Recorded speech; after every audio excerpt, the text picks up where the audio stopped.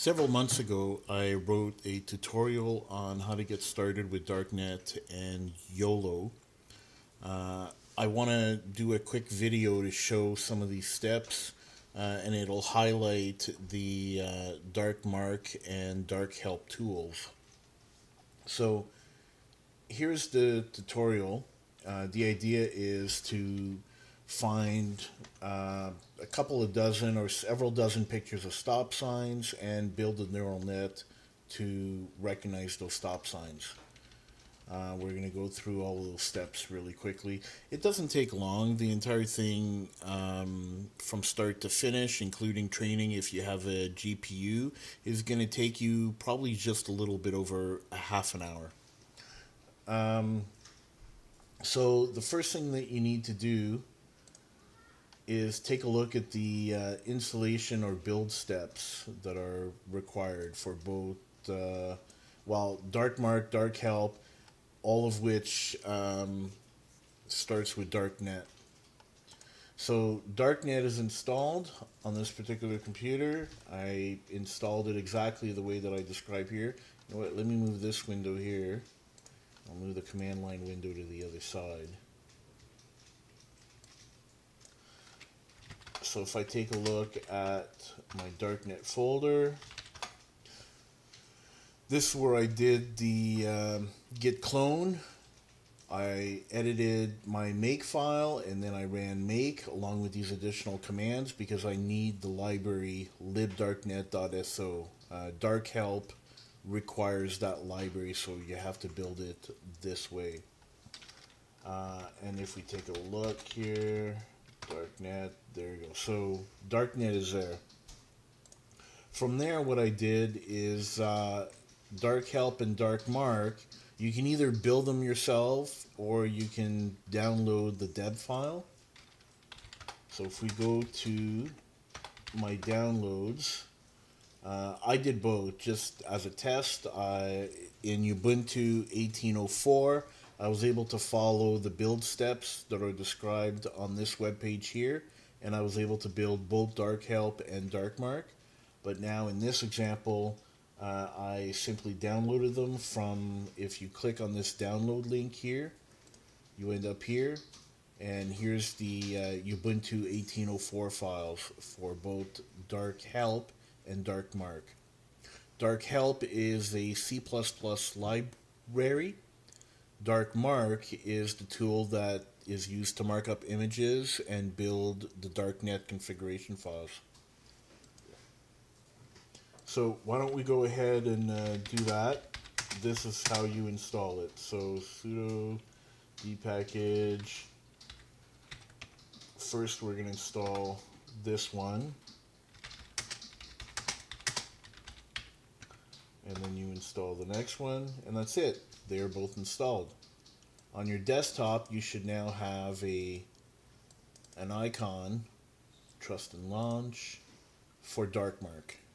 And that's what it looks like. Alright, so here is the launcher for Darkmark. What we're going to do is, uh, from this particular tutorial page, there is a zip file, which I've already downloaded here as well. Let me just open that. And that simply has, uh, it has 38 images of stop signs. So it's quite simple. Uh, what we're going to do is we're going to create a new project. So in Darkmark, I'm going to say uh, add. And I create a folder called NN for all my neural networks. And then in here, I'm going to call it stop sign create. Okay. All right.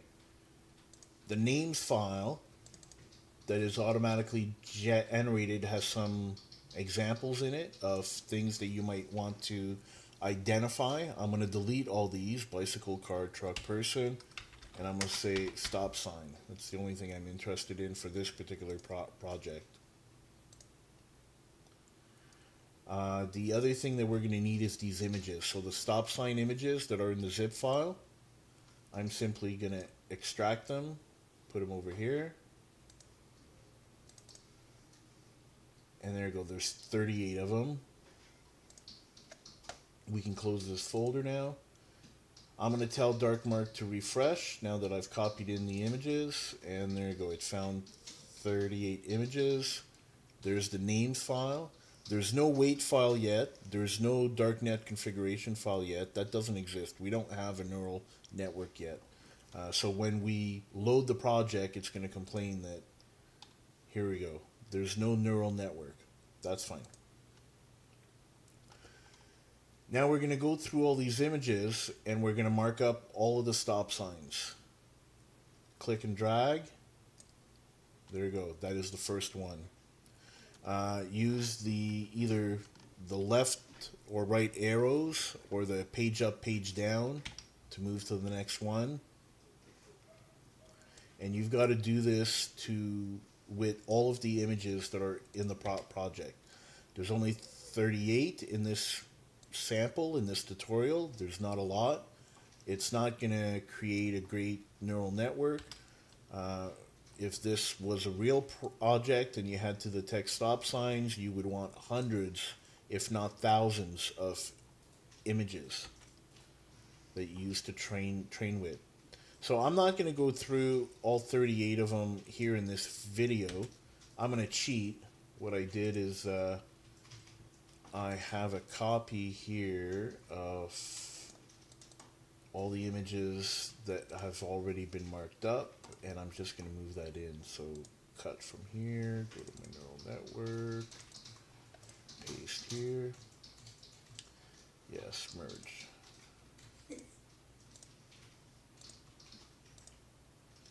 There you go. So now if I go back to here and I say refresh, all 38 images have been marked up.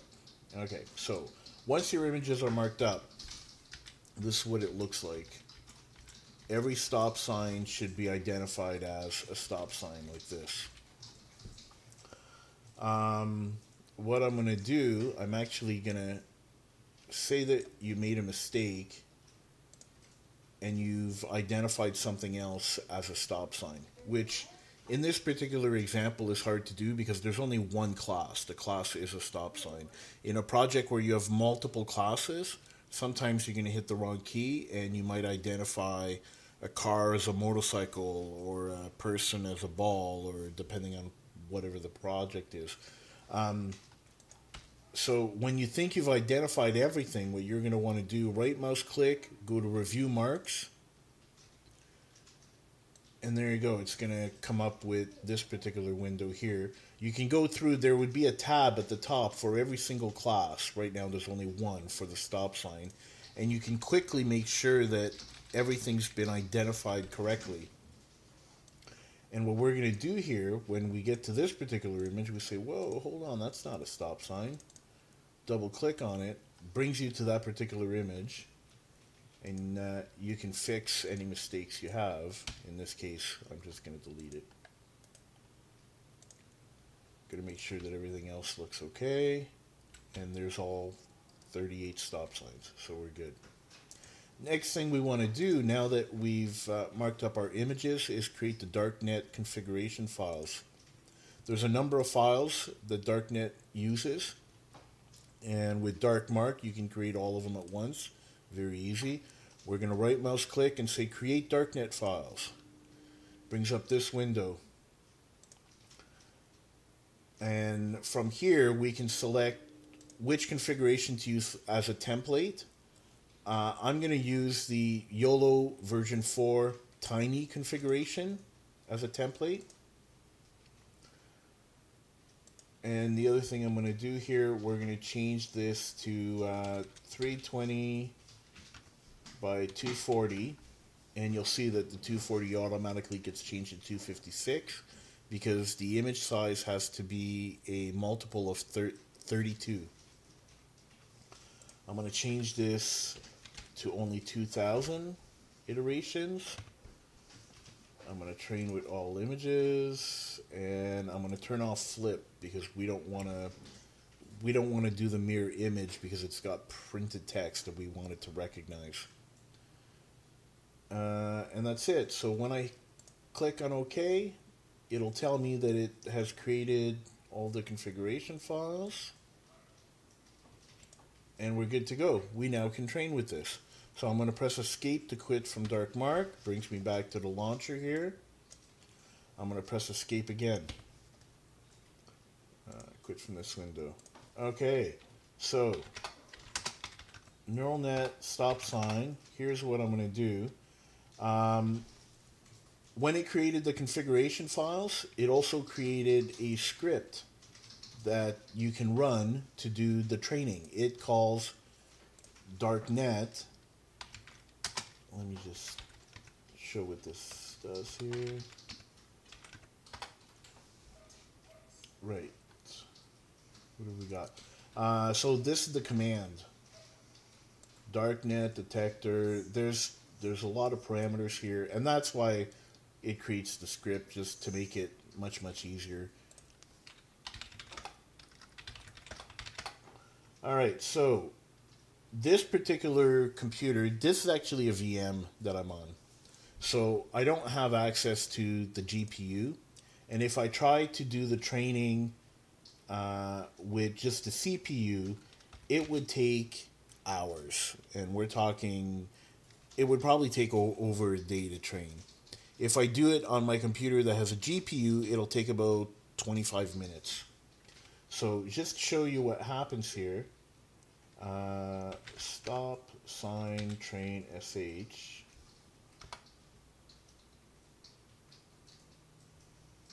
And there we go. It has started. This is what I'm saying that would take hours or probably even over a day to train with just a CPU. I have another computer that has a GPU.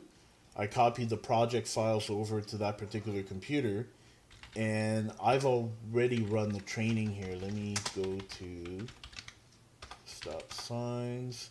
It took about 25 minutes to run, I believe. So what I'm going to do, I'm going to cancel this particular training here. I'm going to get the files from my computer that has the GPU. It shows me the chart. That's fine. And then I can run Dark Help, the command line version of Dark Help, uh, which will take that neural network, load it into memory, and then I can tell it uh, these are the images I want you to work with, Start on JPEG. And it's going to show us the results of running that neural network. So let me minimize other windows here. Know what? I'm going to leave this one up so we can see the results. Uh, so as I go through the images, you can see 100%, 79%, 100%, 68%.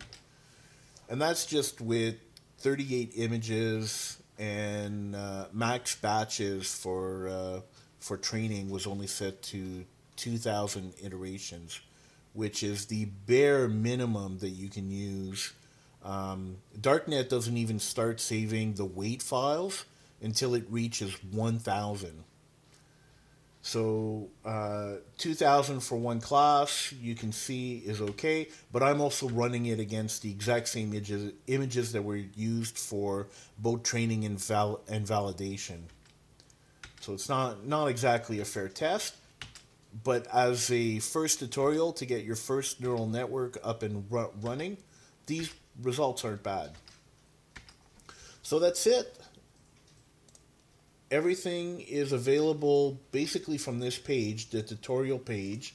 I have links to um, all the tools that I use, and I have the exact commands that I use to build or install every single one.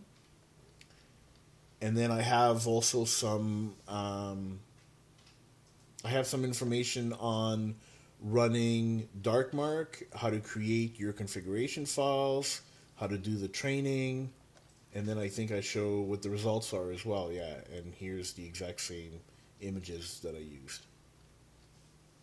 Hope this was helpful.